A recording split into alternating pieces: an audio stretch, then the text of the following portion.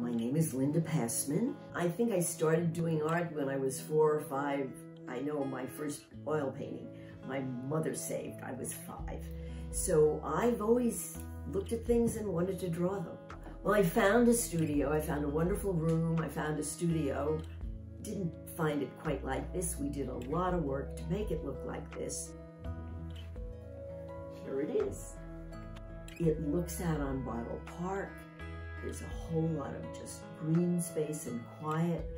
Uh, I love it. And then I have a work area and a storage area. I have two easels that I work on. I have my work work table number one where I make a mess, work table number two where I do displays and matting and framing so it's always clean. And then I have the dirty corner where I keep my messiest medium. What I enjoy most about the studio is that I come downstairs from the house and I'm entering a, a quiet, private little world. I feel shut away from everything.